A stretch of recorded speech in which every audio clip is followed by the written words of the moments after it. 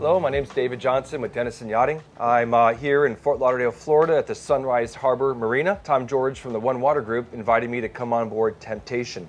Temptation is a 123 foot Palmer Johnson built in 2005. She's had a couple uh, big refits, including the most recent one was in 2019. The entire hull was painted gray and she looks amazing. I'd like to take some time, show you around the sun deck right now. Uh, let's start with the with the helm. Got a couple nice helm chairs here and a, a, nice array of electronics. Everything has been updated, all the charts are current. You've got a, a huge sun deck here and the recent installation of this hardtop right here was a, uh, a great addition. Something the boat needed. It still feels very modern and has a great look to it. Working our way aft here on the flybridge, uh, there's a beautiful teak dining table that has a beautiful settee all the upholstery on all the exterior furniture is new. It looks great, colorful design. This table will accommodate 10 guests in comfort. And then as you work our way over to the port side, there's a nice large bar here. Behind the bar, you're gonna find two wine refrigerators, an ice machine, a sink, and a lot of room for preparing drinks and hors d'oeuvres and serving some food over to the guests having dinner. Something else that's a nice addition on this boat is a proper commercial electric grill here, something the chef will definitely appreciate. Even more aft here on the flybridge, a couple things we want to point out. This beautiful hardtop, you can see here is where it opens up. So when you're hanging out here on the sun pads, you've got all the sun shining through right where you want it jacuzzi here, which is really nice. It's not a little tiny jacuzzi where you're trying to stuff a bunch of people in there. The VSAT and all the audio video was replaced in 2020. So the boat is as high tech as it can be right now. Everything's been replaced in terms of communication and audio video. Off in the distance, you can see a lot of clouds, so we're not going to bother taking the covers off the uh, jet skis and the tender. But I would like to point out you've got two Sea-Doos that were bought new in 2019, and you've got a 15-foot Novurania. All three of these toys will be launched by a 3,000-pound tender crane here. Toys are ready to go, ready for charter. Now that I've shown you the sun deck, we're going to work our way down to the main deck. First thing I see down here on this spacious aft deck, another great bar here. Behind the bar, we've got a large wine refrigerator and ice machine here, and lots of room for the crew to prepare some food before they serve it over there. Other items found back here, a large dining table. You feel how big the space is here. This boat actually has a 25 foot beam. It's called the wide body version and that's because there's no side decks on this boat. Everything is full beam, whether you're standing here on the aft deck or when you're in the main salon. It's got a nice Marquipt boarding ladder here. It's also a Euro-style transom, so you've got staircases on port and starboard side, wide staircases, making it easy to get down to the swim platform. First thing you're gonna notice is that there's a lot of room down here, whether you're getting your towing harness ready for your tow tender, you're putting on your scuba diving gear. They got substantial gates here. Everything's covered in teak, which is nice, keeps people from slipping. This is also the entry into the engine room. The first of the two technical spaces is the Lazarette. Uh, currently standing here in the Lazarette. It's a little bit noisy down here, and uh, that noise is coming from shore power units. This is used to condition the shore power as it comes into the boat. It's got a Glendinning shore power unit. It's got a water softening system. Back over on this side over here, you're going to find the control panels for the generators and the breakers that supply the electrical to the rest of the boat. From this point, we'll work our way into the engine room. First thing I should point out in here is that it's a little bit noisy while we're sitting in here as well. That's coming from the air conditioning plant over here. These chillers were replaced and the water circulation pump was also replaced in October of 21. Got two MTU 16V2000 main engines, each put out 1800 horsepower. Recently borescoped. These engines are good for many thousands of hours. No need to do any work on these engines right now.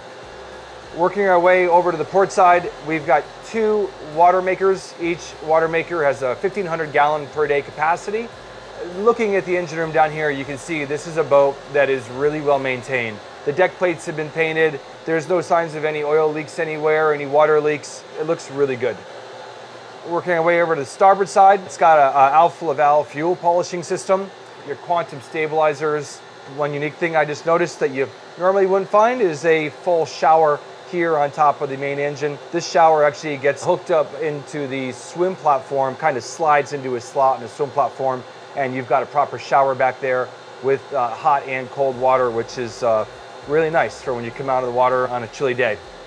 One more, I should say two more items I'd like to point out are the two uh, Northern Lights 16 kilowatt generators that we see here. Generators have about 10,000 hours on them, I believe. These have also been recently serviced and are, are ready to go for another 10,000 hours.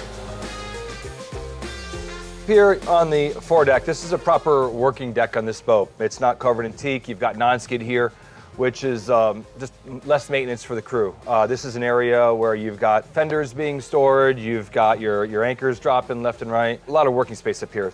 Easy access up to the brow up there. If you wanted to put some sun pads up there, you most certainly could. Overall, the paint, the non-skid, the, the ground tackle, just everything looks really clean up here. Having shown you the engineering spaces, let's take a look at the finer spaces, which is going to be the inside of the boat. Walking into the main salon, it's really easy on this boat. No confusing buttons. There's, there's one button here to press, which is actually very nice. Come on inside. Once again, just like on the aft deck, you really feel that they utilized every inch of the 25 foot beam. This is a spacious salon for a 123 foot yacht, giant L-shaped sofa, and some poofs here to kind of pull out so the whole family can watch some movies. Taking a look at this dining area here, this is a huge formal dining area. Uh, I mean, you've actually got proper sized chairs here, table big enough to comfortably fit eight guests. No need to try and squeeze in more chairs. This is a uh, perfect setup for this boat. Something else uh, I didn't point out earlier is that all the headliners in this salon um, have also been recently replaced. This salon feels like a new room. It's, uh, it's got a good feel to it. From here, you've got uh, access up to the, the, the foyer. We're gonna work our way there soon, but for now, let's check out the galley.